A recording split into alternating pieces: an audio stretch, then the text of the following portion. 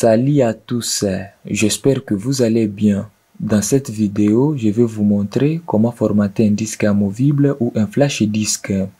Pour ce faire, je vais cliquer d'abord sur explorateur de fichiers, c'est ici. Je vais cliquer ensuite sur CPC. Puis je vais chercher les disques amovibles que je vais formater. Les voici. Je vais y cliquer une seule fois.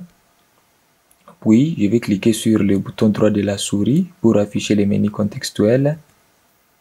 Je vais cliquer sur Formater.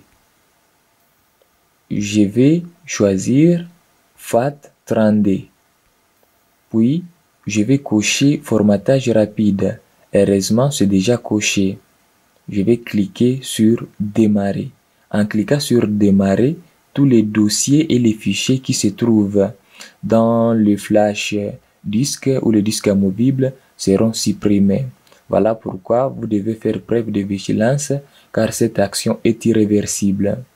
Je vais cliquer sur Démarrer.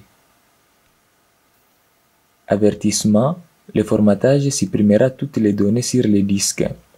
Sélectionnez OK pour formater le disque ou annuler pour abandonner. Je vais cliquer sur OK.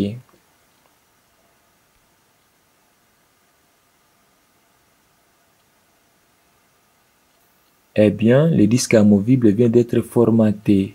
La vidéo d'aujourd'hui touche à sa fin. Si elle vous a plu, je vous prie de vous abonner à ma chaîne. N'oubliez pas d'activer la cloche des notifications pour ne rater aucune de mes prochaines vidéos.